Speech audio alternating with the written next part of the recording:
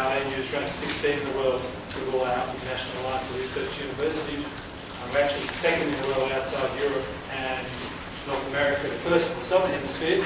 But maybe for learning portfolios, you could reflect on what ANU would have to do to become number, number one in the world in terms of environmental sustainability. I'm sure has got some ideas on what you might do in learning portfolios. Yeah, and um, if there's any sort of bring that up as well. Okay, I'm, I'm, conscious of the fact that you're all sort of beginning to think about essays as well. So I, I just, just to start, I just thought it was very nice to just think of the way that the whole sort of talk went together. And you have to do this in your essays as well, even though you're looking at sort of environmental and ecological science and sort of social sciences.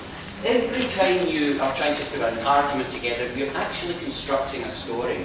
And it was very interesting the way in which the, um, uh, the speakers, the way they moved through a series of issues which are related to the core of this, um, uh, of this course. Rob started with the very sort of, um, uh, with the individual and the way in which, just even before we get up and have breakfast in the morning, our practices have been, have been influenced by global technological and productive systems and the way in which our actions have got global consequences, um, especially ecological consequences. So we started off at that position of the individual and our impact upon the environment. Before we started moving through to actually looking at John talking about the way that an institution can actually change things uh, the ANU and AN through ANU Green has made an enormous impact over the past um, over, over the past while.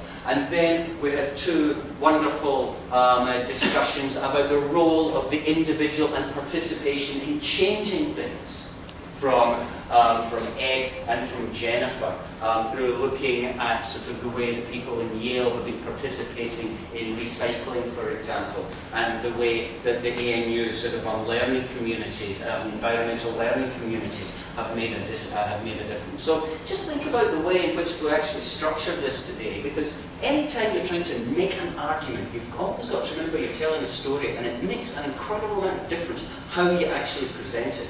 And I think the way that we went from the individual and sort of our role in the big production systems right through to the way that the individual and institutions can make a difference was actually very important. But I suppose I felt a bit sorry here for um, Rob. He actually sort of started off, of course, in this story looking like the ecological grim reaper and sort of telling us about you know how grim things are and about um, um, about um, uh, sort of the irrationality of the economic system in which he, uh, in which we live. Um, even the irrationality, five great pieces of irrationality even before we sort of um, get to the university, which really brought up this issue of the way our society is structured affects the way we live and the way we behave. Just think of um, in the discussion about milk being transported, um, passing each other across the nullarbor and the energy that that gets used. And I'll come back to some of um, some of those other um, sort of examples there.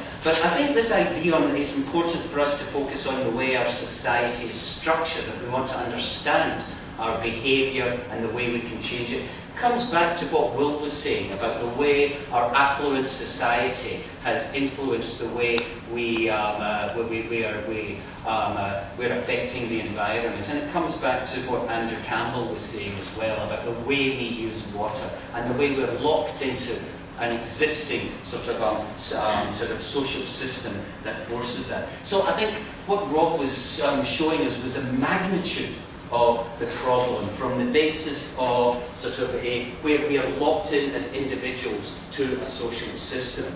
And I think that was really important. And of course, at the end, what he was um, doing was he was saying that we must change the ecological signature of our society by becoming more ecologically literate.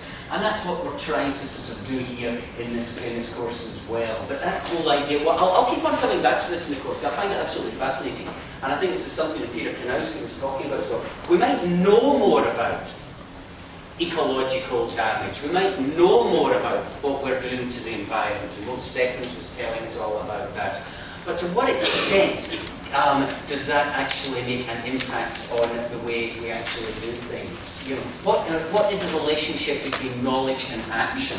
And this is something I'll keep on coming back to. But I think some of our examples um, that we had from Jennifer and from Ed and from John gave us an example. And I think one of the key issues is participation. The importance of us as individuals participating in various groups to change things. I know there was a lovely example, uh, there a lovely question there about sort of um, about ANU buildings. I'm actually a member of the Kioloa campus um, management committee, which we're um, going to be going to down at the, um, during our break for our field trip. And we're actually currently building a multi-purpose building down there. And we've got um, ANU Green involved in it. I just thought, oh, build another building down there, no problem. It's amazing how much you learn just by participating in one of these projects about sort of using sort of local materials about sort of um, about wastewater, about, and of course there's interesting water issues down there because you've got to gather all your own water. There isn't mains water down there, so there'll be fascinating issues that you'll be dealing with there.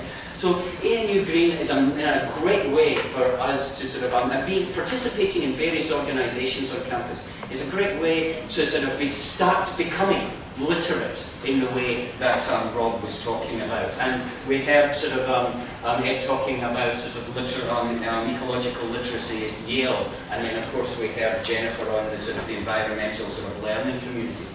And I think that's important, so the importance of participation.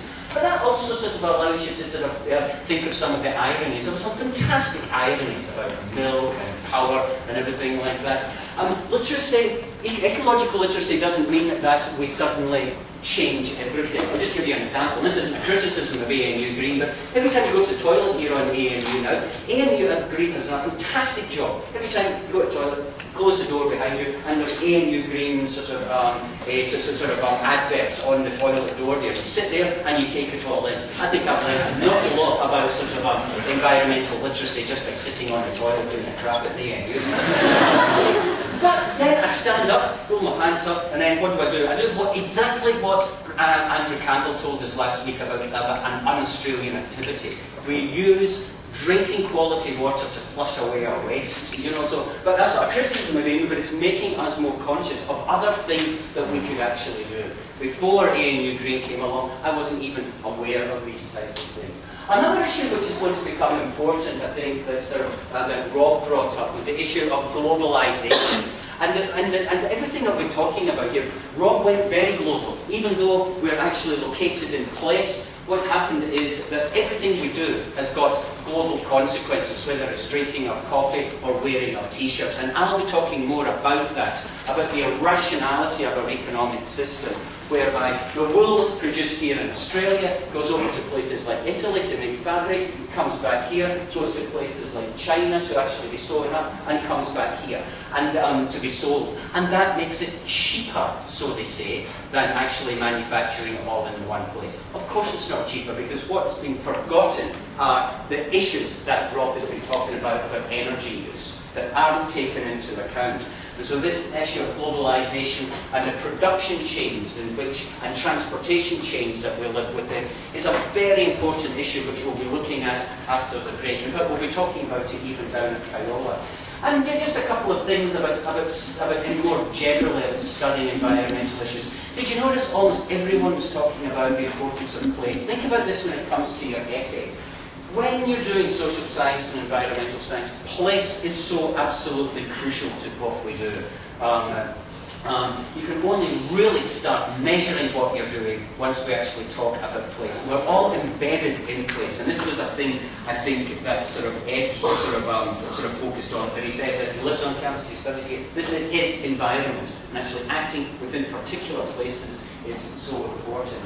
So that's why your research is always got to be anchored in place. And so think about that with your essay. It's really important to actually focus on environmental impacts in particular circumstances in certain places. And again, when we go down to Kioloa, we will be looking at a lot of these issues we'll be discussing in a particular spot. And it really makes you more attuned to the particularities of the problems that you've got dealing with communities as well as local sort of um, flora and fauna.